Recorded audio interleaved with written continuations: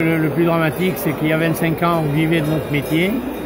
Et, aujourd'hui, on est en train de mourir à petit feu parce que les charges ont, été multipliées par 15 ou 20. euh, le prix de nos produits est, est moins cher qu'il y a 25 ans.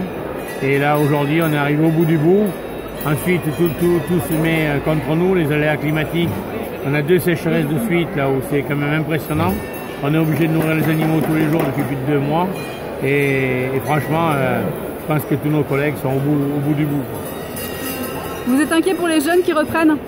Ah là là, je peux vous dire, moi j'ai trois filles qui sont installées avec moi. Je pense que je le dis tous les jours, je sais pas si on n'a pas fait une bêtise, euh, une bêtise de, de- de l'avoir fait parce que parce que c'est plus que compliqué. C'est l'investissement, c'est c'est se priver de tous les plaisirs, c'est se priver de tous les.